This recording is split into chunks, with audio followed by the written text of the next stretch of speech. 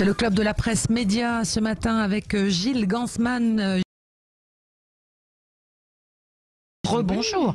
Nos deux On- invités de la- cette semaine. hein. C'est Eric Flou. Bonjour Eric.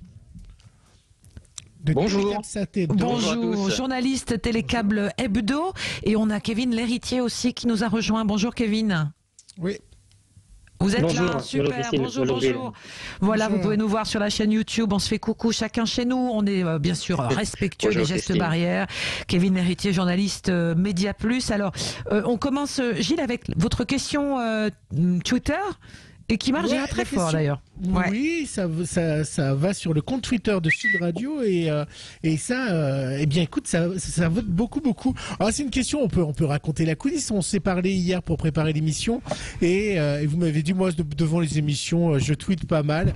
Et donc, on s'est demandé si c'était le cas aussi de nos auditeurs. Est-ce que vous surfez sur Twitter ou les réseaux sociaux en, en général pendant que vous regardez un programme ou pendant que vous regardez la télévision? Alors, est-ce que ça vous arrive tout le temps? C'est devenu quelque chose euh, d'automatique? C'est simplement de temps en temps Ou alors ça dépend du programme. hein. Si le programme vous plaît ou si le Ouais. programme vous déplaît, bah, vous allez tweeter. C'est un Ou défouloir. alors, vous le faites jamais.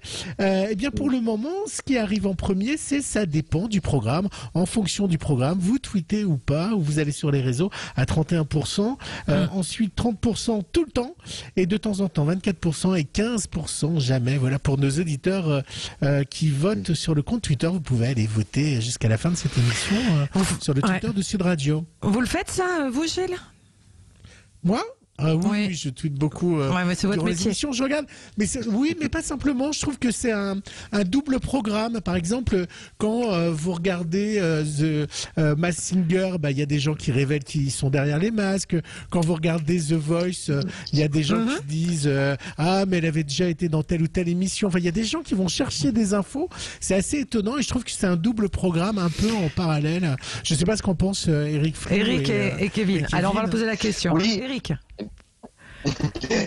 Oui, bah écoutez, j'avais interviewé Karine Le Marchand euh, récemment pour L'amour est dans le pré, et elle, qui a pourtant quitté Twitter, euh, scrute euh, très, euh, Très attentivement. très religieusement Twitter, très attentivement pendant le- l'émission. La diffusion du Elle programme. adore regarder les tweets des pendant la diffusion des programmes. Et apparemment, elle, elle se régale des tweets, des commentaires sur les agriculteurs. Elle trouve ça très très drôle. Ouais. Donc effectivement, c'est très, c'est c'est aussi un, un côté communauté aussi. Ouais. Kevin, vous, vous faites ça aussi? Bien sûr, oui, euh, tout le temps. Et les téléspectateurs, les téléspectateurs sont poussés euh, à le faire. Il y a tous les programmes, ils marquent en bas euh, le hashtag, il faut réagir au, au programme et les, téléspe- les téléspectateurs aiment le faire, évidemment. Oui, c'est un indicateur pour les chaînes euh, de l'intérêt du programme. Ça leur sert à quelque chose, véritablement? Bien sûr. Oui, Ouais, oui, euh, Eric. on voit par Bien sûr, exemple dans Koh- dans Colanta, par exemple, TF1 communique beaucoup sur le nombre de tweets, le nombre de réactions. euh, donc, euh, c'est un indicateur, c'est presque une forme d'audience supplémentaire que les chaînes aiment bien mettre que c'est un programme ouais. qui marche. Ouais, moi, j'avais commencé à faire ça et à regarder euh, en fait un match de foot de l'équipe de France et je m'étais mise sur Twitter et j'étais, je trouvais qu'en fait, en fait, à la fin, je regardais plus pratiquement le match puisque les, les, les tweetos, comme on les appelle, vous commentent le match quasiment en direct. C'est fascinant, c'est très drôle. Il y a vraiment des, des, des, des tweetos qui ont beaucoup d'humour.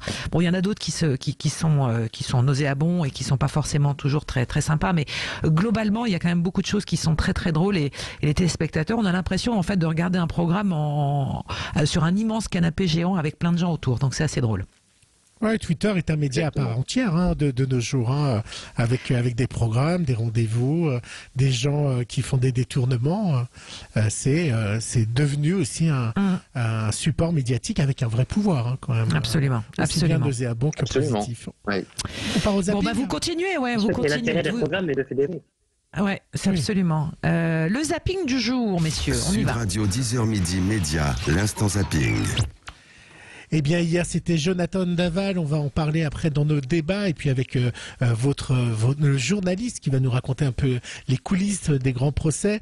Euh, eh bien, il a, ça y est, il a avoué, il a avoué son meurtre devant les assises. Et il a fait le récit du déroulement de son crime. Ce soir-là, elle veut une relation sexuelle. Mais je savais que j'allais pas pouvoir faire l'acte. C'était humiliant. Elle voulait que je reste, me retenir. Elle a tenté de me reprendre mes clés. On s'est poussé brusquement. Elle m'a mordu le bras, j'ai pété un câble, ça m'a mis hors de moi. L'effet cocotte minute, ça m'a fait déborder. Je lui ai poussé plusieurs fois la tête contre le mur avant de lui asséner des coups assez violents. Pour la première fois, il reconnaît avoir eu l'intention de la tuer. Je lui ai donné des coups de poing, je me rends pas compte du temps que ça a duré. J'avais de la colère de toutes ces années, d'où l'étranglement, pour qu'elle se taise. Je l'ai saisie par le cou, j'ai serré, mais quand j'ai senti qu'elle s'affaissait, j'ai relâché. Des Ouais, aveux et un témoignage qui a évidemment choqué la partie civile et les avocats de la partie civile, ils étaient à la sortie du tribunal au micro de BFM. Il ne démord pas du fait que c'est elle qui est venue le chercher, euh, que euh, elle voulait une relation sexuelle alors qu'on sait que c'est faux, on sait que ça n'est pas possible. Euh, il ne démord pas du fait que c'est lui qui aurait voulu partir euh, et qu'elle voulait l'empêcher de partir. Il va dire euh, j'ai serré jusqu'à ce qu'elle s'affaisse. Non, non, c'est impossible ça. On sait que le médecin légiste a, a dit hier qu'elle s'est affaissée forcément au bout de quelques secondes. Elle a perdu connaissance au bout de quelques secondes, mais il a quand même tenu 4 minutes. Ouais, ça c'est les experts. Oui, euh, apparemment, et- voilà, qui continue, apparemment, il continue de mentir, même si euh, on avance sur euh, sur le crime et sur l'enquête. On verra évidemment demain ou ce soir euh, le, le verdict euh, des assises. Le, ouais, le président de la cour d'assises, il va essayer de faire en sorte que ça se termine ce soir, je peux vous le garantir. Verdict Ah, sera tard dans la nuit, mais Attention, hein, Christine, je suis prêt à parier des choses. Euh, ça y est, les différents labos auraient donc trouvé le vaccin contre le Covid-19. Moi, j'aurais dû prendre des actions dans les labos, hein, parce que là, tous les labos, vous avez vu, euh, ils pensent qu'ils ont le vaccin. C'est Pfizer, donc, qui a pris les devants. Euh, résultat, les commandes se bousculent et ils ont besoin d'usines pour fabriquer le vaccin. Eh bien, il y en a une qui a été choisie en France, c'est dans un petit village d'Eure-et-Loire. L'usine Delpharm, spécialisée dans la fabrication d'antibiotiques, vient d'être choisie par le géant américain Pfizer et l'allemand BioNTech pour produire des doses de vaccins contre le Covid-19. C'est vrai que pour nous, c'est, bah, c'est, voilà, on est fiers, on est contents. Donc j'espère qu'on va, pouvoir satisfaire euh, nos clients, qu'on puisse reprendre la vie euh, d'avant, en fait, de, de sortir euh, sereinement, sans les masques. Alors le journaliste rajoutait attention fabriqué en France mais pas forcément à destination de la France. Ça change quand même une partie des choses. Du rififi chez les Miss France qui euh, cette année vont fêter Ah. leur centenaire. Eh oui, Bah. ça fait 100 ans que ça existe l'élection de Miss France. il y a un Donc, crépage de chignon. Non. Mais oui, mais bien sûr, plusieurs réjouissances ont été euh, concoctées par Sylvie Tellier. Il, elle a invité la pré- l'ancienne, donc la présidente du comité Miss France a invité Geneviève de, de Fontenay euh, à participer à la fête. Mal lui en a pris. Elle était hier chez Jean-Marc Morandini. Mais bien sûr qu'elle a menti. C'est une menteuse et une voleuse. Je le dis Ah, elle, va- ouvertement. elle risque de vous attaquer en diffamation Oh, si bah vous, non, si vous êtes non, ça. c'est- des, des injures comme ça, c'est pas, c'est pas fort, hein. Mais c'est Bah, la vérité. voleuse. Elle m'a volé, elle m'a volé cette histoire du centenaire, vraiment, sans m'en parler, sans rien faire. Menteuse, pourquoi? Bah menteuse parce qu'elle elle a laissé croire au, au Miss que, que je serais là. Elle a fait croire au Miss que vous Mais seriez oui, là. c'est pour ça qu'il y en a beaucoup qui sont venus, puis il y en a d'autres qui sont pas venus parce que d'abord elle, elle voulait pas payer les frais, mais bien sûr. Et puis il y a eu cette information, euh, je pense que nos journalistes Capital, hein. Je suis pas loin du prix Pulitzer avec mon zapping. C'est le ça. Mais euh, je, je candidate. Mais euh, ce qui a été dit euh, également ce- cette semaine, c'est que vous savez d'habitude ils partent dans au Mexique ou dans de grandes destinations pour faire les fameuses euh, vidéos de présentation. Cette année ils seront en région parisienne. C'est quand même. Bah euh, oui, c'est bah c'est la vie de monsieur, madame, tout le monde. Hein Voilà. Oui, c'est vrai aussi. Allez, le dernier son pour finir. Il y a aussi du rififi chez les chroniqueurs de Touche pas à mon poste. En effet, le Marseillais René Malville, qu'on connaît bien sur Sud Radio, euh, s'est fait moquer de lui car il critiquait le professeur Raoul et donc Jean-Michel Maire et Benjamin Castaldi euh, se sont marrés sur, ce- le, sur le plateau et se sont vraiment, euh, mais gentiment, l'ont titillé, se sont moqués et trop c'est trop. Il a écrit un tweet dans la nuit en disant qu'il voulait partir de l'émission et puis il incendiait euh, euh, Benjamin Castaldi hier soir. Il lui a répondu en face à face. Après, tu fais un tweet où tu me traites d'abruti que ça, où je ne réponds pas exprès, et derrière, je te jure que c'est vrai, les conséquences de ça, c'est que moi j'en prends plein la gueule, mais pas plein la gueule. On menace de tuer ma famille, de, de tuer mes enfants, de déterrer ma mère, euh, euh, ma grand-mère. Et Non mais après je dis attends, qu'est-ce qui- qu'est-ce que j'ai fait moi Parce que j'ai ri, parce que j'ai ri, on va me menacer de mort. Et là je suis pas d'accord. Et je regrette sincèrement du fond du cœur si je t'ai blessé parce que c'était pas du tout toi que je voulais blesser. En revanche, je regrette sincèrement du fond du cœur les conséquences de ce qui s'est passé sur les réseaux que j'ai quittés parce que j'en pouvais plus. Voilà, Voilà. réseaux sociaux. Ouais. Donc, il a quitté les, les, les, les, les réseaux sociaux. Il y a eu beaucoup d'échos dans la presse euh, Hum. sur ce petit euh, combat et le départ de René Malville. Moi, je suis sûr qu'il va revenir. Euh, Je sais pas ce qu'en pensent nos deux Est-ce que journalistes. tout ça peu ne serait pas scénarisé ouais. Kevin Ah, en tout cas. euh, oh. Euh, Kevin. Oui, euh, sûrement qu'il va euh, revenir. En tout, en tout cas, ce qui est sûr, c'est qu'ils vont continuer d'en parler. Ils l'ont annoncé hier euh, dans TPMP, ils vont en parler ce soir encore, ils risquent d'en parler la semaine prochaine. Et il est clair les ondes dans TPMP, il faisait partie des débats, il amenait de, de bonnes informations et de la bonne, de la bonne humeur sur le plateau aussi. Ouais. Eric? Bah, j'ai ouais, j'ai- un petit doute quand même parce qu'on l'a vu euh, pleurer à chaudes larmes euh, sur le plateau. Il a euh, René Malville euh, a évoqué sa femme, qu'il a eu une longue discussion avec elle. Enfin, vraiment, il avait l'air très très peiné. Et comme ça, ça a l'air d'être un homme de principe, j'ai j'ai le sentiment que, que c'est vraiment terminé. À mon avis, il ne reviendra pas. Bon, affaire à suivre. Euh, Eric Flou, journaliste. Hebdo. Kevin, Kevin Lhéritier, journaliste Média Plus. Sans doute que le feuilleton continuera et on en reparlera la semaine prochaine. Dans euh, le 10h midi, le club de la presse des médias, on va s'arrêter un court instant et on va ouvrir notre euh, premier thème abordé ce matin avec vous, Eric et, et Kevin, ainsi que Gilles. Euh, la couverture du, du procès de Jonathan Daval. hein. c'est la dernière journée d'audience aujourd'hui.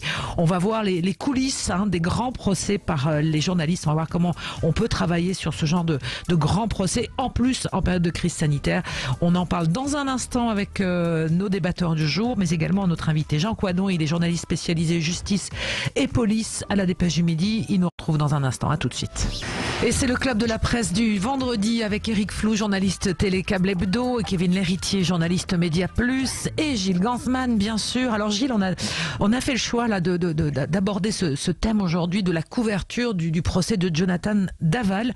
C'est, c'est véritablement le procès de cette fin d'année, en tous les cas à la télévision. Hein. Ah bah quand vous regardez les chaînes info, vous avez l'impression que le, le Covid... Mais pas que les chaînes info. plus, hein. que, que ça y est, c'est fini. Soir à grand renfort de publicité, sur CNews, envoyé spécial, direct sur toutes les chaînes info euh, du tribunal et puis euh, évidemment euh, beaucoup de, de tweets, de, de rumeurs. L'affaire Naval a donc envahi nos écrans. Alors est-ce une bonne ou une mauvaise chose? Et puis surtout, alors euh, on peut faire poser cette première question à, à nos deux amis journalistes. C'est euh, la mère, la mère qui est devenue euh, superstar et qui euh, qui est euh, commente euh, et devant les micros. Euh, Je vois que Kevin, vous voulez parler de, de la maman. Ça vous choque vous ou pas hein, de voir la maman de Jonathan Daval devenir superstar? Ça ne choque peut-être pas, mais c'est très perturbant lorsqu'on est le téléspectateur de voir cette proximité entre la famille euh, et les médias, notamment la, mère, vous l'avez dit, Gilles, qui est très présente. Elle connaît les journalistes, elle connaît leurs prénoms, elle les côtoie depuis euh, plusieurs années maintenant. Et en, tant que téléspectateur, on peut être surpris de voir cette proximité et, presque une, affiliation, une sympathie qui s'en dégage, qui n'est pas euh, habituelle normalement dans les faits divers. Ouais, ouais, ouais. Alors on va euh, on va en parler de ça, de, cette alors pas de la, couverture, mais en tous les cas comment ça se construit cette couverture. Euh, on a euh, avec nous Jean Coadon. Bonjour Jean. Bonjour. Jean Coadon, euh, confrère et journaliste euh, police-justice à la Dépêche du Midi. Alors, Jean, on va, on va tout dire à nos auditeurs. On on- nous nous connaissons euh, sur le terrain, on a suivi des, des procès, mais surtout vous, vous avez suivi de grands procès pour le compte de la Dépêche du Midi. Alors, vous n'êtes pas sur le procès de Jonathan Daval, mais on voulait expliquer aussi comment cette couverture euh, de, de, de, ce, de ce procès hors norme, alors c'est un procès hors norme, mais en pleine crise sanitaire, et on le rappelle aussi, euh, dans ce procès sur, sur le, on va dire l'organisation pour les journalistes euh, qui couvrent ce procès. En réalité, Jean, il y a très peu de journalistes qui sont dans la salle d'audience. Et Jean, quoi donc, pourquoi ça change beaucoup de choses aussi pour la couverture de ce procès? Ben, parce que quand on est chroniqueur judiciaire, euh, que l'on s'intéresse aux choses de la justice, ce qui est passionnant dans ces procès, c'est de capter toutes ces petites choses indicibles euh, qu'on ne peut voir qu'en direct. Et le souci qu'ont nos confrères aujourd'hui euh, à Vesoul, c'est que la salle d'audience est toute petite, que je crois qu'il y a plus de, de 50 journalistes accrédités, et que, d'après ce qu'on m'a dit, il n'y a même pas euh, 10 places disponibles dans la salle d'audience. Donc ça fait qu'en en réalité, les journalistes suivent le procès à distance par vidéo, euh, par vidéo, et, et ça, moi ça m'est arrivé euh, une euh, du frère euh, de Mohamed d'Abdel- d'Abdelkader Mera à Paris. Euh, le premier jour, j'avais pas pu rentrer dans la salle et donc je, je m'étais précipité dans la salle vidéo et ce n'est pas du tout la même chose. On ne, on ne, on ne perçoit rien, on ne, on ne sent pas les tensions, on ne sent pas les euh, tout, tout ce qui fait la richesse d'un procès vous échappe quand vous n'êtes pas dans la salle d'audience. Euh, parce que ça, ce sont des moments qui pèsent hein, dans les débats, euh, ces, ces tensions, ces moments d'émotion, enfin en tous les cas, ces moments de vérité finalement. Bah, c'est évident, on, le voit dans, le récit qui est, fait ce matin des, aveux euh, hier à l'audience euh, euh, de Jonathan Daval, c'est que voilà, c'est euh, la grande particularité des, de- des cours d'assises en France, des juridictions criminelles, c'est qu'elle, c'est l'oralité des débats, et ce- c'est tout, c'est tout l'enjeu en fait, c'est-à-dire que les gens qui jugent Jonathan Daval, qui ont été tirés au sort en début de, en début de semaine, ne connaissent rien du dossier. Non seulement les jurés populaires, mais également les deux, les deux assesseurs, les deux magistrats euh, qui encadrent le président. Les deux seules personnes euh, de la Cour qui connaissent le dossier, c'est le président et l'avocat général. Bien sûr, les parties, les, les avocats. Alors là, dans, dans ce dossier, c'est assez particulier parce que il y en a eu, on en a tellement parlé euh, au moment des faits, avant. Euh, il y a eu énormément de reportages avec. J'ai vu un certain nombre de, de, de, de- de commentaires d'ailleurs euh, de, magistrats qui s'étonnent euh, un peu avec raison de tout ce qui a pu être euh, développé avant le procès. Mais reste que normalement les jurés ils ne savent rien de tout ça. Et donc ils vont s'imprégner pendant cinq jours d'un dossier et de tout, à la fois des faits, des témoignages, des réactions de l'accusé. Et quand on suit un procès, on voit bien quand on observe les jurés, la- comment souvent de manière un peu fortuite, discrète, ils observent les accusés. Et, l'intérêt d'un chroniqueur de judiciaire euh, comme nous, quand on, on- on couvre un, do- un- un dossier, c'est de- d'essayer de percevoir tout ça et d'essayer de le retranscrire et d'essayer de l'expliquer.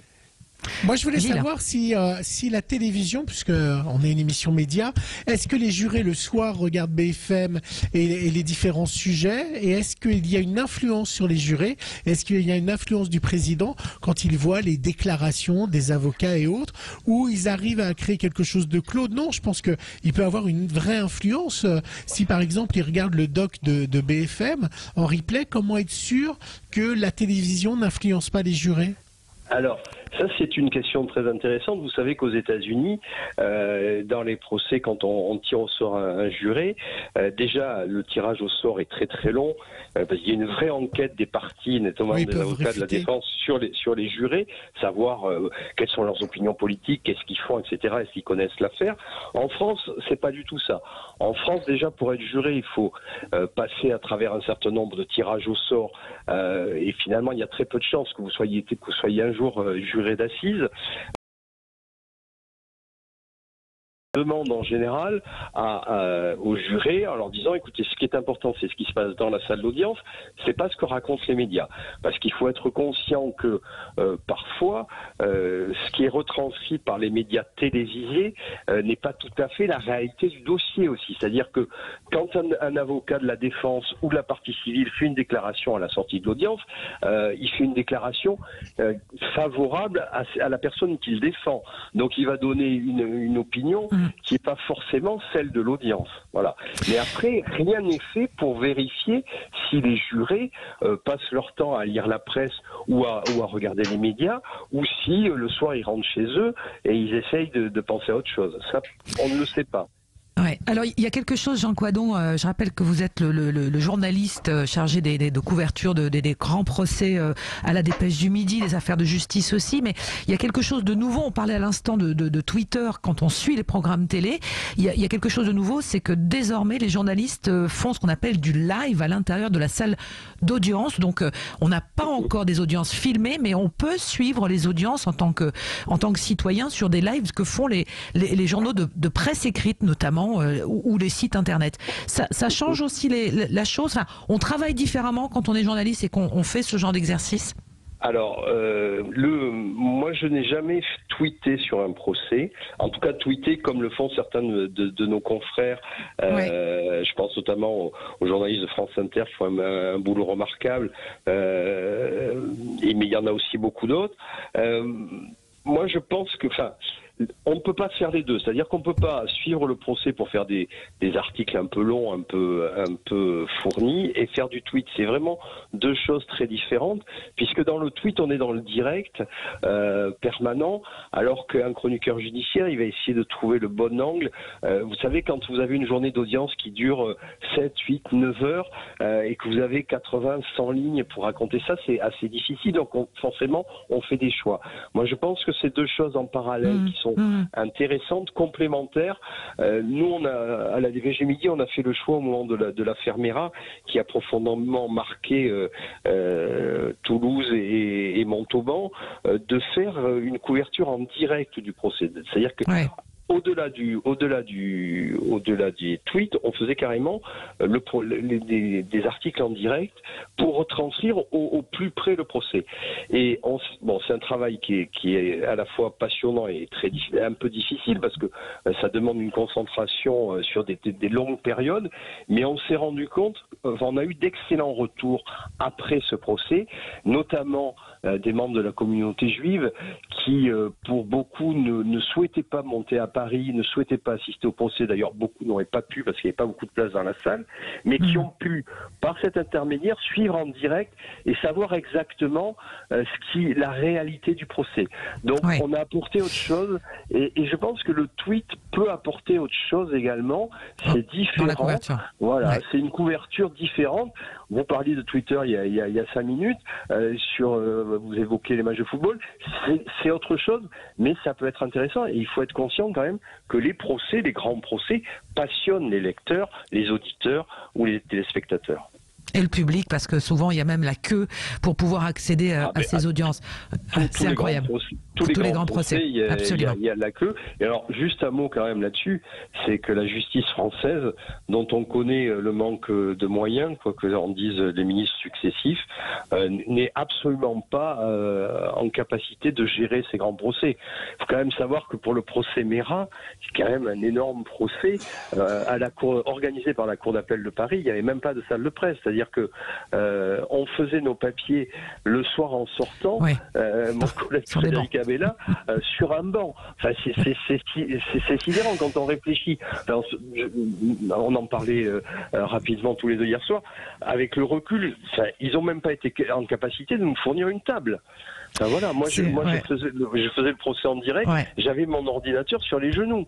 Enfin, c'est euh, c'est quand même des conditions de travail qui sont un peu, un peu surréalistes. Et ça doit être un peu le cas aussi du côté de, de Vesoul. Merci beaucoup Jean Coadon euh, d'avoir été avec nous euh, ce matin et euh, on vous retrouve la plume de la dépêche du midi sur euh, les grands procès, sur les, les affaires de police-justice. Merci beaucoup Jean. Euh, on voulait effectivement avoir ce- cet éclairage avec vous de l'intérieur de de la couverture de, de ces grands procès. Donc on attend a priori, moi je prédis un, un verdict tard ce soir, mais un verdict tard ce soir quand même pour libérer les, les jurés, mon cher Jean. Ouais, forcément. Merci beaucoup Jean. Euh, voilà, donc c'est c'est intéressant, hein. Oui, et puis, et puis on peut demander à, à Eric, euh, qui s'est pas exprimé sur sur l'affaire Daval, euh, qu'est-ce qu'il lui il en pense? Est-ce que les les médias en font trop? Et est-ce que euh, alors je me suis trompé tout à l'heure, hein, j'ai dit il ne faut pas confondre la la mère de Jonathan et la mère la mère d'Alexia. Je parlais évidemment de la mère euh, d'Alexia, euh, euh, Juliette, qui est une de nos collaboratrices, m'a envoyé un petit SMS euh, Pour- et, pour rectifier. donc euh, Ouais, donc pour Eric- rectifier, voilà, je voulais rectifier. Il y en a trop ou pas assez Ou c'est normal Moi, je pense que c'est normal. C'est normal. Euh, c'est une affaire hors norme avec. euh, qui, qui, malheureusement, tristement ressemble un peu à une série télé. Euh, D'ailleurs, BFM, absolument. BFM TV a, a nommé son documentaire Daval, virgule, la série. Ça, on peut, on peut être un peu choqué par ce- cette. ce Oui, il y a eu plusieurs temps. Il y a eu la Mais- disparition, il y a eu la Voilà. recherche, il y a eu les aveux. Ouais, absolument. Tout à fait. On l'a vécu en direct. Donc c'est. Mais je lisais ce matin un euh, un tweet euh, euh, qui disait c'est dingue dans ce pays, on parle plus de l'affaire Jonathan Daval que du procès de Charlie Hebdo. Voilà, on peut s'interroger aussi. Alors, en ce moment, il est suspendu, le, procès. Charlie. Le, le vrai, procès Charlie est, est suspendu en ce moment. Donc, c'est peut-être aussi pour ça que. Mais- Euh, et il y a un autre grand procès qui démarre lundi, c'est celui de Nicolas Sarkozy aussi. Donc, sans doute qu'on va avoir une autre salve concernant. Un autre euh, feuilleton. C'est une- un autre feuilleton, absolument. Voilà, Gilles. Euh, bien, on peut passer, euh, comme chaque semaine, vous savez, on demande à, à nos journalistes leur coup de cœur ou leur, euh, leur coup de gueule. Euh, alors, Kevin, quel est votre coup de cœur ou coup de gueule? C'est un coup de gueule, une interrogation euh, d'une séquence qui a été euh, remarquée par les téléspectateurs d'LCI ce mercredi euh, 18 novembre. Il y avait la conférence de presse de Gabriel Attal, le porte-parole du gouvernement. Donc il a pris la parole pour euh, rappeler les différentes mesures euh, sanitaires qui ont été mises en place, le possible déconfinement euh, de décembre. Et euh, lors d'une question, une journaliste a interrogé le porte-parole concernant les différentes arrestations euh, controversées des différents journalistes lors de la manifestation contre la loi de sécurité totale qui a eu lieu la, veille. On rappelle que c'est une manifestation assez importante, assez euh, dense, qui a opposé de nombreux manifestants aux forces de l'ordre. Il y a eu des journalistes entre les deux camps qui ont été, certains ont été euh, arrêtés. Et donc, euh, au moment où Gabriel Attal allait répondre, LCI a brusquement, subitement coupé son direct pour revenir en plateau. Et certains euh, téléspectateurs et internautes sur Twitter, là encore, se sont un peu euh, inquiétés, ont dénoncé une certaine censure de la chaîne euh, du groupe TF1. D'autres, un peu plus tempérés, se sont questionnés sur la question du timing. Est-ce que c'était le bon moment de couper le direct pour revenir à, un sujet en plateau de débat? Là tout le questionnement de à quel moment on arrête un direct. Ouais, Ouais, c'est ouais, souvent la hein. la- la régie finale, oui, c'est souvent la régie finale qui vous dit euh, reprenez l'antenne parce que ça, voilà, parce que le temps arrive, parce qu'il y a de la pub, parce qu'il y a d'autres choses. Moi, je pense que c'est plutôt maladroit de la chaîne. Alors après, évidemment, euh, peu, certains pourront penser qu'une nouvelle fois, les, les médias mainstream, comme on dit, ont, ont coupé un peu euh, euh, la chic à, à ce genre de, de Enfin, je vois mal, Il a euh, répondu. Oui. Il a répondu, euh, donc on n'a pas censuré ça. Sa réponse n'a pas été diffusée, mais il a, il a répondu. Je ne sais pas ce que vous en pensez, Christine et Eric. Bah, moi, je pense comme vous, c'est qu'il y a le, le- la problématique. Alors, on se rend pas bien compte quand on a été spectateur comment ça se passe un, un direct. Le présentateur, il a les oreillettes des deux côtés. On lui parle en régie, il n'entend pas forcément ce que dit à ce moment-là euh, où il est en train de préparer le retour plateau. Donc, il y a beaucoup d'informations et, et- et, euh, le fait est que derrière, on n'a pas vu. Enfin, moi, je n'ai pas vu. Il y avait eu cette séquence-là. Je sais pas si vous vous souvenez sur France 3 aussi au début du mouvement des Gilets jaunes où on avait accusé euh, une journaliste d'avoir coupé l'antenne. Euh, en réalité, c'est qu'on disait à la journaliste, déjà d'une, elle était intervenue au début, et puis à la fin, elle devait absolument envoyer la pub parce qu'il y a ce qu'on appelle le décrochage. Donc, euh, de toute façon, ça aurait été coupé par euh, un ordinateur qui fait qu'à telle heure, ça, la, pub s'en va. Donc, c'est uniquement par rapport à ça. Donc, je pense qu'il faut pas voir de censure derrière. euh, mais bon, ça tombait pile sur cette question. On aurait parlé des, masques à ce moment-là, c'est pas un sujet, mais on s'est tombé sur une question vraiment très précise d'un sujet d'actualité. Donc évidemment, la toile et, Twitter s'est enflammé. Enfin, c'est mon avis.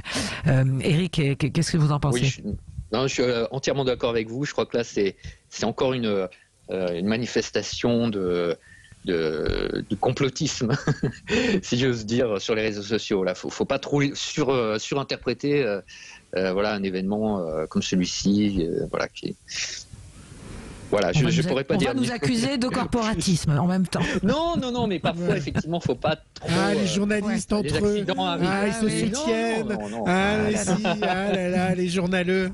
Hein, c'est ça. C'est ça. Votre coup de cœur, Eric, euh, puisqu'on est un peu Alors- pressé nous aussi par le temps. Oui, bien sûr. Alors, mon coup de cœur, c'est la quatrième saison de la série The Crown sur euh, Netflix, qui est en ligne depuis dimanche dernier. Euh, vous connaissez la série, c'est la reine Elisabeth II qu'on voit dans son quotidien. Et, et euh, euh, cette quatrième saison, eh bien, euh, dans cette quatrième saison apparaît Lady Di. Euh, Lady Di, Margaret Thatcher, on est dans les années 80, et c'est absolument euh, somptueux. C'est magnifiquement réalisé. Les actrices, euh, celle Olivia Colman qui joue Elisabeth II est, est confondante de réalisme. Ah, Et- moi, j'aimais bien la première, mais bon. Moi aussi, j'ai eu du mal après avec la transition avec la nouvelle, Ouais. mais là, là, elle a à peu près une soixantaine d'années, la reine Elisabeth II, dans les années 80, et je trouve qu'elle a, elle a, voilà, elle a le physique, elle a l'intonation, et même si vous n'aimez pas euh, point de vue image du monde ou, ou les têtes couronnées, il y a un petit côté historique à cette série qui est tout à fait passionnant. Voilà, moi Alors racontez-nous, Eric, Eric euh, combien d'épisodes vous avez vu en, en une fois? La première fois que vous vous êtes dit, bon, je me mets Alors, devant la saison ouais. 4, vous en avez enchaîné combien? C'est sur Netflix, hein, on rappelle. C'est Oui, sur Netflix. Alors c'est vrai que tous les épisodes sont mis d'un coup, mais j'ai pas, j'ai pas cédé au binge watching. C'est-à-dire j'ai pas tout, tout regardé d'un coup parce que c'est une série qui se déguste. Voilà, parce que les plans sont très beaux, il y a une ambiance et il y a une petite lenteur comme ça. Il faut, faut pouvoir les déguster, comme un- avec un, un bon Erling. C'est- euh, c'est- c'est Earl pas- Mais c'est pas ma question. La première fois, vous en avez pris Non, c'est combien? Vous en avez regardé combien? Ah, bah, la, première fois sur les premières saisons. Non, là, la saison 4, vous en avez regardé qu'un seul hein Ah, par- non non non, j'ai regardé euh, cinq épisodes. Non non, cinq épisodes déjà. Bon, on va Ouais. laisser le plaisir à nos auditeurs Ouais. de, de découvrir la saison, voire même de démarrer la spoiler. saison, parce que peut-être que certains Pas de ont encore pas, euh, pas eu qui est de très très belle qualité et à voir euh, euh, sans modération ou pas d'ailleurs, mais euh, sur sur Netflix. Euh, moi, j'ai juste un tout petit clin d'œil à faire. Je sais que depuis hier soir, il y a une certaine Catherine Deneuve qui a fait son arrivée sur Twitter. Voilà, elle a posté son premier tweet avec une photo de sa sœur dans Les Demoiselles de Rochefort. Donc j'ai trouvé ça très très joli. Est-ce que vous êtes sûr que c'est un Voilà, compte certifié Je vais aller voir. Est-ce que vous êtes sûr que c'est le vrai compte de Catherine Deneuve hein? Ah, écoutez, ça n'a pas l'air. Attendez, je vais pas aller voir en direct. Ça ne me crois Ah, jamais, Gilles. Ah si, mais, mais, mais Christine. Mais si, mais, mais oui. Je, je- mais je trouve ça. Ah oui, évidemment, si je vais dans mes SMS, je risque pas de trouver Catherine Non, mais vous avez quoi, vous, vous Gilles, Je vous, regarderai après. coup votre coup de cœur ou Moi votre coup un de gueule tiens. Non, Oui. moi j'ai un coup de gueule en fait. Euh, Est-ce que vous savez ce que c'est le deepfake, euh, Christine? Du Ça veut tout. dire euh, deepfake, bah ça veut dire le le visage, euh, un faux visage. Et en fait, euh, ce qui se passe, c'est que euh, dans Plus belle la vie, une des comédiennes euh, est tombée euh, malade du Covid et donc ne pouvait vraiment plus venir sur le plateau. Alors déjà parce qu'elle était souffrante, mais aussi pour des raisons euh, évidemment de distanciation. C'est Malika Alaoui qui a un rôle important dans euh, les gens qui suivent Plus belle la vie. Et donc euh, les producteurs se sont dit on fait comment Alors? Il y a plusieurs solutions quand on a une série, on met une autre actrice, on dit le rôle de un tel est joué cette semaine par un tel, ce qu'ont fait les Américains à un certain temps. Eh bien là non pas du tout, ils ont pris une comédienne qui avait son allure, un visage relativement proche et électroniquement ils ont récupéré dans des anciens épisodes son visage et ils lui ont collé sur ce figurant entre guillemets sur cette figurante le visage de Malika qui ne joue pas ce n'est pas elle qui joue, c'est son visage, ce n'est pas son corps. Et donc, sur plusieurs scènes euh, qui vont être diffusées, eh bien, c'est ce qu'on appelle un deepfake. C'est la mort des acteurs, hein Alors, c'est la mort des acteurs, puisque de, de plus en Pas la plus... mort. euh, Ou les acteurs ad vitam aeternam. Oui, et puis, euh, et puis euh, c'est ce procédé, et le procédé qui est utilisé par Nicolas Canteloup tous les soirs sur TF1 quand il a le visage d'un homme politique sur lui. C'est c'est Ouais. assez réaliste et donc c'est une technique qui ouais, pourrait euh, changer la donne. C'est, euh, je sais pas ce qu'on Enfin, pense. c'est- troublant, pas dérangeant. Eric, Kevin, sur ce Euh, deepfake. Eric. Non, mais moi, moi ça m'a pas choqué parce que c'est vraiment ponctuel et j'ai trouvé ça même assez bluffant. Et de toute façon, je trouve que si on regarde bien, on voit bien que ce n'est pas tout à fait son visage, euh, voilà, que c'est pas un visage humain. Donc c'est très très bien fait, mais il y a quand même moyen de, de ne pas se faire avoir entre guillemets. Mhm, Je sais pas ce que ce qu'en pense euh, mon, mon confrère Kevin. Kevin. Non, non, et, et- et en plus, on ne ment pas aux téléspectateurs. La production l'a dit dès le début. On ne prend pas le téléspectateur en, en- en- secret, disons-nous. Et j'ai trouvé, moi, que c'était même mieux fait que euh, lorsque Nicolas Canteloup euh, le fait euh, sur TF1. Je trouvais la technologie encore plus forte. Ouais. Heureusement, en radio, on peut c'est pas le faire même- encore. C'est le même euh, YouTuber. Non, parce que sinon, je vous aurais mis le, vis- le visage de Valérie Expert sur vous, comme ça, j'aurais l'impression euh, voilà, d'avoir Valérie exactement. tous les, Au- tous les tous les matins jours. et Tous les jours. On l'embrasse. On- a a n'a pas trop le temps pour l'actu média dans sa globalité, euh, Gilles, mais on peut peut-être revenir sur une, une info en particulier. On peut aller sur, euh, sur leurs conseils de nos, de, nos, de nos amis journalistes et sur la une de Télécable Hebdo. euh, Quelle va être la une de Télécable Hebdo lundi pour nos auditeurs? Eh bien, c'est Mulan. Mulan, euh, l'adaptation en film euh, du dessin animé de Disney qui arrive sur Disney euh, euh, puisque les salles de le cinéma sont carton à Noël. Ah ouais. Ça va être le carton de Noël, donc qui arrive début décembre sur Disney sans surcoût supplémentaire. Voilà. Ah. Donc c'est la- notre Ah. une de Télécapsat Hebdo lundi prochain. C'est Mulan. Mulan. Bon, bah, il y a Kevin. plein de choses qu'on. Et vous, dans votre lettre, euh, lettre média, vous parlez de quoi en ce moment?